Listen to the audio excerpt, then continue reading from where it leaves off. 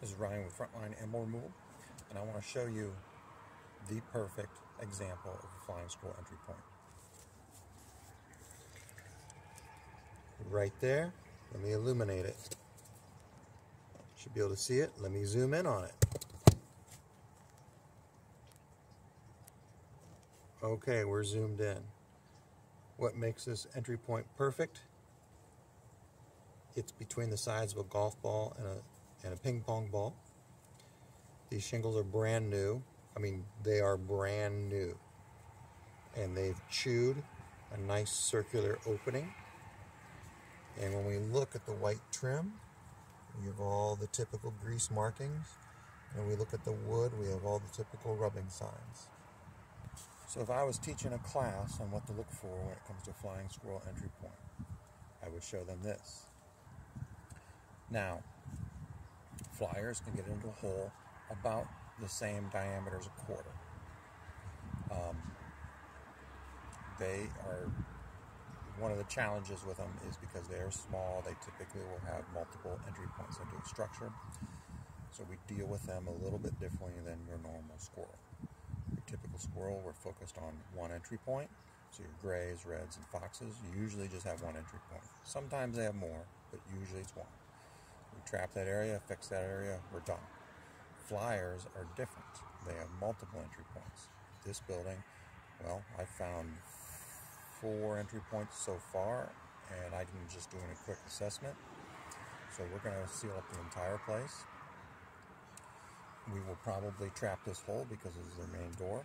I don't know how many squirrels will catch. Sometimes it's one, sometimes it's 20, or anywhere in between. The other difference with flyers is they're, well, they're nocturnal. So grays, when I show up and do the job, or reds or fox squirrels, we set up multiple traps because we know some squirrels might be in the house and some squirrels might be out of the house. Flyers, well, they're usually sleeping when I'm setting up my cages, and I usually only catch them one night on that first night as they all leave the house to go forage for food because right now they're all sacked out of sleep, having nice dreams, dreaming of acorns and walnuts. And uh, uh, it's usually a quick hit on those guys when it comes to checking traps. But the big deal with flyers is repair work. So with your grays, fox, and reds, it's usually uh, a significant expense on the trapping part and a small expense on the repair. With flyers, it's the other way around. The repair work is much more expensive than the trapping part. In the end, it all kind of balances out anyways. Um, but flyers are different. But this is a perfect example of a flying squirrel entry point. It's pouring rain. We have a flying squirrel there.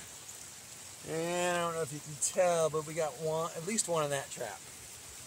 The other day I showed you the hole up there that I called the most perfect, or almost the most perfect, flying squirrel hole. And we caught something. All right. So if you suspect flying squirrels, lots of noise at night, you know, look around on the outside of your home, be careful, and see if you can find a ping pong to golf ball size hole that is nice and circular, and you may have found your trouble.